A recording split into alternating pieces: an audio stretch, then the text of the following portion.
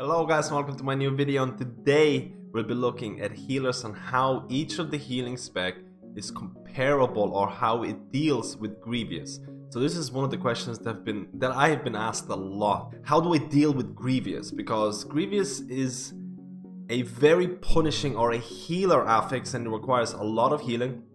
It requires sometimes a different talent setup, it requires a different mentality.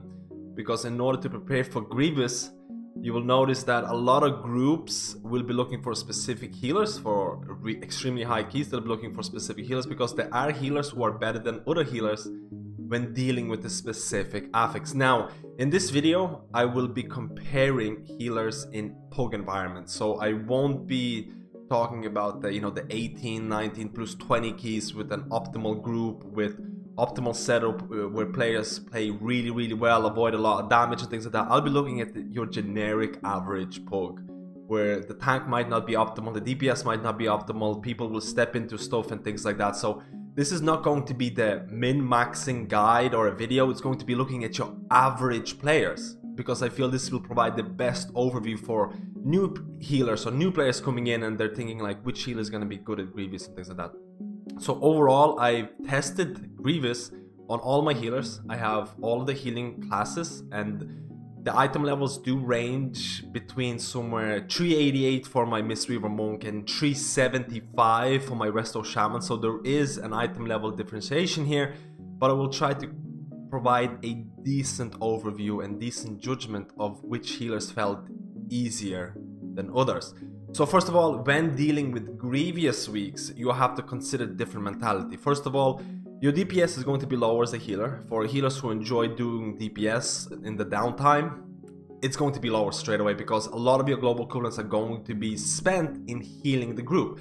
So all of a sudden your talent choice might might reflect that. To a certain extent, maybe for Resto Druid, you'll be using Germination instead of Photosynthesis because you feel like I'm just gonna place all of those rejuves my DPS is going to be lower anyways because I need to make sure, and that's a key here, when dealing with Grievous, you want to get rid of the stacks as soon as possible. You don't want it to go to 4. Again, the stacks have been changed to 4 max. You don't want that to happen because the longer you let it go on, the harder it's going to be for you to get, get them to full HP. So you kind of want to maintain the group's HP at 100% at all times. You have to play extra, extra safe. Uh, another thing that to consider is that some of the bosses that you would think were extremely easy before, now they become a lot harder because all the sudden bosses like in uh, the first boss, which knocks you off and does a lot of AoE damage to everybody, you can't go back and DPS the boss. You have to make sure or prepare for this AoE. You need to get your heals out. You need to maybe have some cooldowns to the same extent as the Underrot second boss.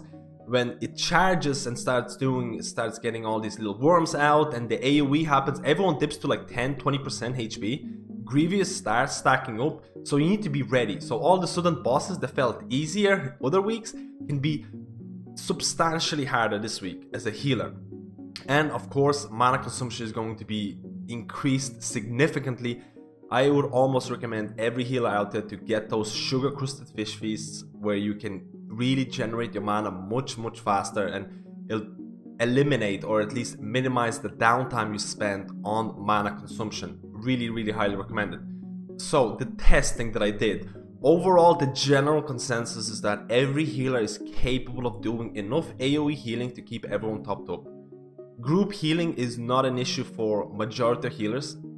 I mean, Resto Shaman to an extent, if everyone has to be stacked, or if everyone has to be spread out at all times and there's constant AoE healing, there can be issues for a Resto Shaman, but the thing is, there's not a lot of fights in BFA Mythic Plus that requires you to be constantly spread out and there's a lot of AoE damage. There really isn't that many, so Resto Shaman did feel quite strong in terms of AoE healing because of the chain heal buffs, because of the high tide changes. But overall, every healer was able to provide, like, you know, a DPS dips to 10%, they have 4 stacks of Grievous, every healer is capable of getting that DPS player to full HP with not that many issues. The problem in my opinion, is when the tank needs constant single target healing. So a tank average 250k HP, let's say 250k HP. That tank is getting constantly hit. Grievous keeps stacking on the tank, and certain classes, a lot of the classes, don't have good enough single target healing to top them up. So all of a sudden you're playing this catch-up game where you're trying to top up the tank, you're trying your best to get the Grievous stacks off them, and at the same time there might be some AoE damage happening from the mobs or the boss, and other players start getting Grievous stacks. But you're still constantly trying to get the tank topped up, and all of a sudden you're lost. Everyone's at 4 stacks, everyone's going really really low, and this can happen to quite a few classes. Now, this can be eliminated by having something like a Blood DK tank who's extremely good or a tank who is kiting more. But again, this is a video based from my experiences while pugging. You're not going to get, you know, the best tanks in the world. Let's have a scenario where there's going to be more of average play. More mistakes are going to be made. So that was definitely an issue for a lot of the classes. So when I go to my ranking, I'm gonna rank healing specs in terms of in, ter- in terms of tiers, the best, and then it's going to be the the rest, the best and the rest. So it's no surprise that from my at least from my testing, the healers that provide really strong single target healing would probably have the least amount of issues because let's say a tank is at 10% HP for Grievous stacks things like a Mistweaver Monk will have no issues to actually bring them up to full HP because Mistweaver Monks have an extremely st strong single target to an extent that their single target can really carry Grievous healing weeks. Now, the big disadvantage to Mistweaver Monk crazy burst healing is their mana consumption. In my testing, or at least in my opinion, I feel Mistweaver Monks suffer from mana or mana issues the most out of every healer out there. They can really, really burn through all of their mana depending on how many Grievous stacks there are, depending on how much the tank is taking damage, depending on how often you're spamming Vivify. So at the cost of the best single target healing in the game, you have the mana consumption, so you have to consider that. But overall, you can really carry Grievous healing as a Mistweaver Monk. Another healer that I felt was extremely strong in terms of single target healing and in terms of the healing that they provide was a Restoration Druid. Now, Resto Druid type of healing is different. They don't really have that many burst healing abilities outside of Swiftmend, and I end up holding on to Swiftmend quite a lot, waiting for that oh crap moment where a person has four stacks and things like that. But the core of their healing is coming from having as many mastery or as many hots on a single person as possible. So if you have things like Cenarion Ward on your tank, if you have multiple if you have rejuvenation, if you have, you know, the spring blossoms buff, if you have regrowth buff on them, all of these hots are going to stack up and all of a sudden casting like a Swiftmend on them is going to do a massive amount of healing. Overall, I felt that if you have a decent tank, if you have multiple hots on them, those hots are good enough to keep the tank at, you know, at reasonable levels where Grievous might not stack, or if it does stack, the HOTS will be strong enough to bring them to full HP, or at least to bring them outside of the threshold of Grievous.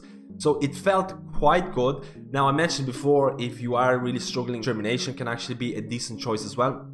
But Resto Druids would definitely a good healer for Grievous, especially if you can get those mastery stacks, if you have your Swiftmend Azerite trait, which every time you Swiftmend is going to add an additional hot that's going to work with mastery. Stacking Mastery, having as many HOTS on players is the name of the game for Resto Druids on Grievous weeks. Now let's go to the mid tier or the rest of the healers. And this list basically consists of healers who are great at AoE healing, but might suffer from that single target healing. And this is the main reason, or this is the biggest issue that I saw when dealing with Grievous. Like I mentioned before, you can really fall into this trap of trying to get the tank topped up while everyone else is falling below, and then you're kind of lost. So, Holy Priest I was playing Holy Priest this week, and Holy Priest did feel pretty nice, pretty good. Holy Word Serenity was extremely important. For the people who don't know what that is, that's like a very strong single target heal, which cooldown gets reduced based on other spells that you use. So having this spell as as a backup for like that single target or tank healing was extremely important. But overall, I felt Holy Priest provided very good AoE healing, but the single target healing could be somewhat lackluster when compared to Mistweaver or Resto Druid. Now, if we look at Holy Paladin, again, Holy Paladin Beacon of Virtue is extremely, extremely great for AoE healing, especially on Grievous weeks, but it felt very RNG to some ex eh, extent. So, for example, if you use Beacon of Virtue and then you follow it with Holy Shock and you follow it with Flash of Light, if they don't crit, there's going to be somewhat of issues topping up the group especially if the tank is taking a lot of single target damage. And I don't feel Holy Paladin's single target healing is really that great if Holy Shock doesn't crit. Holy Shock, when Holy Shock crits, it gives you the Infusion of Light proc, it makes your uh, Flashlight or Holy Light, Flashlight stronger, Holy Light quicker. So crit is definitely a big portion of providing a lot of healing. And on top of that, Wings or Avenging Wrath is an extremely strong cooldown to an extent that I was holding on to it a lot of the times when compared to previous weeks when I would use it on cooldown to try giving myself extra DPS and I would look better on DPS meters but on Grievous weeks I was holding on to this cooldown in case everyone was dipping really low, Grievous was stacking up, I would pop my wings, I would pop my Beacon of Virtue and then my Holy Shock, uh, Flash of Light, everyone's full HP, everything's perfect. So holding on to cooldowns was very important as my as a Holy Paladin for Grievous which felt pretty bad because I like to use it constantly. But overall, quite RNG and the single target healing is very dependent on crit, in my opinion. Now we'll talk about Resto Shamans, and Resto Shamans have received a lot of bad or negative feedback towards five-man healing, towards uh, Grievous healing as well because of how their mastery works, because mastery requires the person to be quite low. I feel mastery is kind of like a double-edged sword kind of deal. Um, because of Grievous, you want to make sure everyone's at full HP at all times so it doesn't stack up, but at the same time, and Mastery is not really gonna help you with that at all. But if you do fall behind and someone's really, really low, Mastery will help you bring that person from like 10% HP to full HP. So it can work both ways. But overall, I felt that the changes to Chain Heal, the changes to High Tide, I was experimenting with different kind of talent builds. A lot of the talent builds are completely viable for Resto Shaman in 5 months depending on what you need. Uh, so the AoE healing, especially if you can get those chain heal bounces, felt really strong. It, I did not have many issues with keeping up the group at full HP. Now the problem again lied with tank healing. Even with Earth Shield, I felt that if the tank is taking constant damage, I will have issues trying to keep them up above the grievous threshold. So again, in some instances I felt like I was falling behind and the single target healing was definitely not as good as the AoE healing. So I hope that maybe Earth Shield will get buffed or something like that, but overall Resto Shaman fell in the same kind of issues as the other healers mentioned in this section. Pretty good or really good AoE healing. The single target is kind of falling behind and you need to rely on your tank in a lot of the cases. And of course, the last spec that I'm going to cover is going to be a Discipline Priest. Now, Discipline Priest has been a relatively hard healer to heal with on previous weeks, especially in the PuG scenarios where there might be some unexpected AoE damage, where people might not be kiting, especially a tank. Disc Priest always relied heavily on their tank. They usually run with things like a Blood DK or maybe a Brewmaster who can mitigate a lot of the damage. Overall, with patch 8.1, they did receive some of the new Azerite changes to things like Depth of the Shadows, making your single target healing a bit stronger depending on how much damage your Shadow Word Pain was doing, and then increasing Atonement duration by 2 seconds. So the single target healing is highly, highly dependent on your tank.